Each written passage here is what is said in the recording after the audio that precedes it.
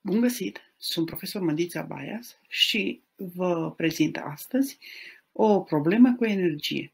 În această problemă vom aplica legea conservării energiei.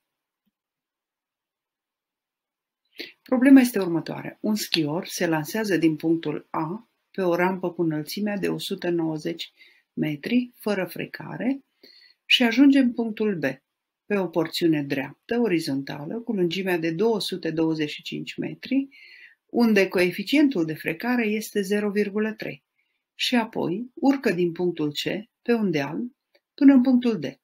Considerăm că schiorul, împreună cu echipamentul, cântăresc 80 kg. Ce trebuie să aflăm?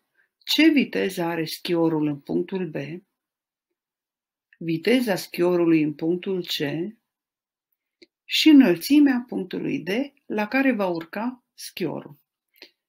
Pentru a rezolva problema, trecem la scrierea datelor problemei. HA 190 de metri, distanța BC 225 metri, coeficientul de frecare 0,3, masa 80 kg.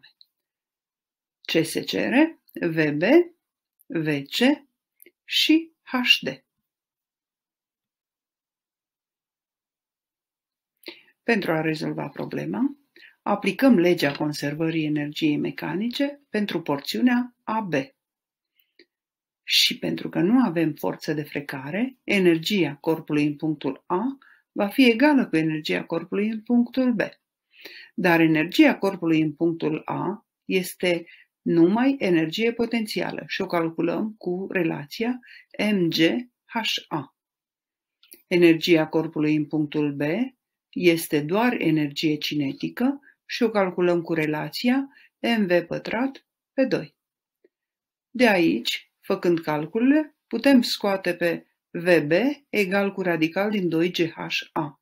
Observăm că viteza corpului în punctul B nu depinde de masa corpului.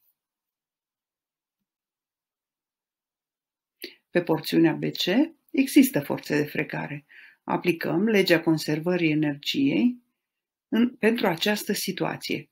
Energia din C minus energia corpului din B, energia totală. Este egal cu lucru mecanic al forțelor exterioare, respectiv forțe de frecare. Și va fi egală cu mu ori n ori d, distanța pe care se deplasează corpul, pe care acționează forța de frecare și vom avea mv pătrat pe c minus mv pătrat b egal cu minus 2 mu ori m ori g ori d. Acest 2 apare de la numitorul celor doi termeni mv pătrat c, mv pătrat b.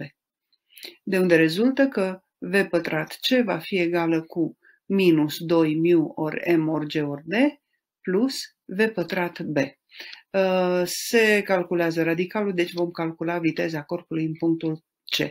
Din calcule va rezulta că viteza corpului în punctul C este mai mică decât viteza corpului în punctul B. Acest lucru se datorează forțelor de frecare. Pe porțiunea CD nu avem forțe de frecare. Aplicăm legea conservării energiei pentru această situație. Așadar, energia corpului în punctul D va fi egală cu energia corpului în punctul C. Și atunci vom avea mghd egal cu mv pătrat c supra 2. De unde rezultă hd, se face calculul în această situație. Uh, nici într-un caz hd nu este egal cu ha, pentru că am avut forțe de frecare pe porțiunea BC. Vă mulțumesc și vă asigur că fizica este frumoasă.